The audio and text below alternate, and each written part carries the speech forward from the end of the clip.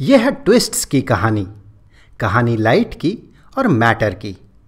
कहानी साइंस के कुछ बेहतरीन खोजों की और उन खोजों से निकले सवालों की, जो हमारे अहंकार को चूर चूर कर देता है। अहंकार कि हम जो देखते हैं और देख कर समझते हैं, बस वही सच है। कहानी डीपर रियलिटी की। सन 1801 थॉमस यंग नाम के एक साइंटिस्ट ने एक एक्सपेरिमेंट किया।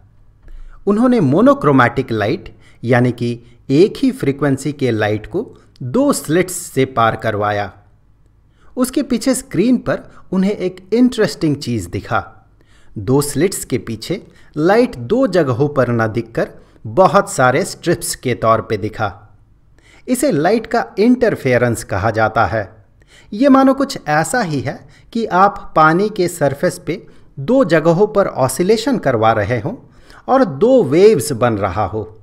वो दो वेव्स एक दूसरे के साथ कुछ इस तरह से इंटरैक्ट करता है कि कहीं उनके क्रेस्ट्स और क्रेस्ट्स या ट्रफ्स और ट्रफ्स मिलकर एक बड़ा सा वेव बन रहा होता है और कहीं एक का क्रेस्ट और दूसरे का ट्रफ मिलकर एक दूसरे के असर को कैंसल कर रहा होता है जिससे वहाँ पर वेव नहीं बनता। कुछ इसी तरह का पैटर्न बनता है लाइट के इंटरफेरेंस में। इस एक्सपेरिमेंट के बाद साइंस कम्युनिटी में लोग धीरे धीरे ये मानने लगे कि लाइट वेव है। आगे चलकर सन 1865 में जेम्स क्लार्क मैक्सवेल ने इलेक्ट्रोमैग्नेटिज्म के बेसिक इक्वेशन से थियोरिटिकली ये दिखाया कि ऑसिलेटिंग चार्ज इलेक्ट्रिक फ़ील्ड और मैग्नेटिक फ़ील्ड में ऑसिलेशन लाता है, जिसमें वेव जैसा प्रॉपर्टीज़ दिखता है। इस वेव को उन्होंने इलेक्ट्रोमैग्नेटिक वेव नाम दिया। उनके कैलकुलेशन से इस वेव का स्पीड निकल कर आया लगभग तीन लाख किलोमीटर पर सेकंड। पर रुकिए ज़रा, इसके सिर्फ़ तीन साल पहले ही सन अठारह सौ बासठ में फूको नाम के एक साइंटिस्ट ने अपने रोटेटिंग मिरर वाले एक्सपेरिमेंट से लाइट का स्पीड पता किया था, जिसके साथ मैक्सवेल का थियोरिटिकली निकाला गया इलेक्ट्रोमैग्नेटिक वेव के स्पीड का वैल्यू लगभग मैच कर गया। मैक्सवेल ने कहा तो फिर लाइट भी एक तरह का इलेक्ट्रोमैग्नेटिक वेव ही है, जो कि आगे चलकर सही ही साबित हुआ। इस तरह से यंग के डबल स्लिट एक्सपेरिमेंट और मैक्सवेल के इलेक्ट्रोमैग्नेटिक वेव के इक्वेशन से ये साबित हो गया कि लाइट एक वेव है। कहानी खत्म। ना कहानी में ट्विस्ट तो अब आता है। नाइनटीन सेंचुरी के दूसरे भाग में साइंटिस्ट्स ब्लैक बॉडी रेडिएशन को एक्सप्लेन करने के लिए कोई लॉजिकल जवाब ढूंढ रहे थे। पर क्लासिकल फिजिक्स का कोई भी नोन थ्योरी उसे एक्सप्लेन नहीं कर पा रहा था।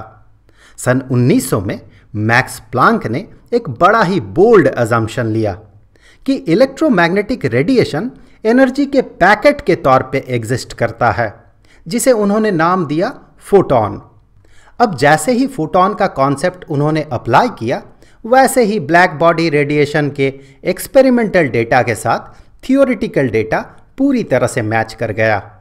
इस फोटोन के कॉन्सेप्ट पर सवाल तो उठे, लेकिन उसके सिर्फ़ पाँच साल के अंदर ही एल्बर्ट आइंस्टाइन ने फ़ोटो इलेक्ट्रिक इफ़ेक्ट नाम के बरसों से अनसुलझी एक पहेली को फोटोन के ही कॉन्सेप्ट से एक्सप्लेन कर दिया। बस, फिर क्या था? फोटोन का कॉन्सेप्ट एस्टेब्लिश्ड हो गया।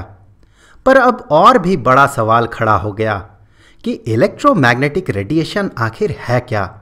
क्या ये वेव है या फिर एनर्जी पैकेट के फॉर्म में पार्टिकल अब ये गुत्थी सुलझती कि उससे पहले ही साइंटिस्ट्स और भी उलझन में फंस गए।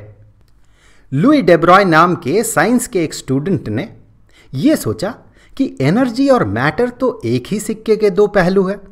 जो कि आइंस्टाइन का दिया हुआ स्पेशल थ्योरी ऑफ़ रिलेटिविटी से पहले ही प्रमाणित हो चुका था। E equals M C squared energy mass में और मास एनर्जी में कन्वर्ट हो सकता है।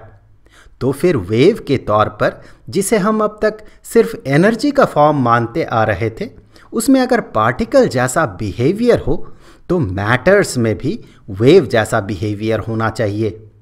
बस यही सोचकर उन्होंने अपने पीएचडी थेसिस में ये पॉस्टुलेट कर दिया कि सारे मैटर में वेव जैसा प्रॉपर्टीज़ होगा, जैसे कि उनमें वेव लेंथ और फ्रीक्वेंसी होगा।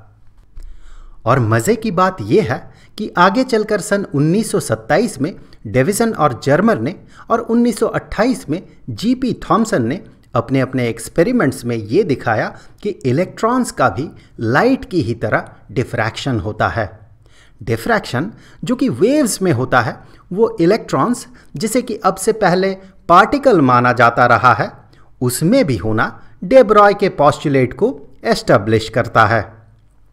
मतलब इसका यही बना कि चाहे वो इलेक्ट्रोमैग्नेटिक वेव हो, या फिर इलेक्ट्रॉन जैसा कोई मैटर हर किसी में वेव प्रॉपर्टीज़ और पार्टिकल प्रॉपर्टीज़ दोनों होता है।